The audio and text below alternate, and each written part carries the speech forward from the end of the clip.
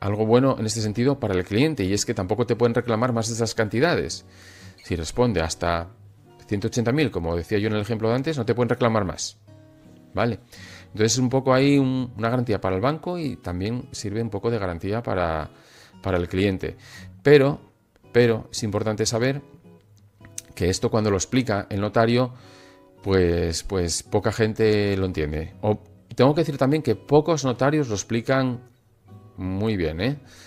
Eh, hay notarios que lo leen directamente entonces te leen eso y dices tú, bueno, vale, me está leyendo esto y ¿qué, tengo que hacer con eso? Nada, no, no tienes que hacer nada. Tú pagar todos los meses para que no tengas ningún problema.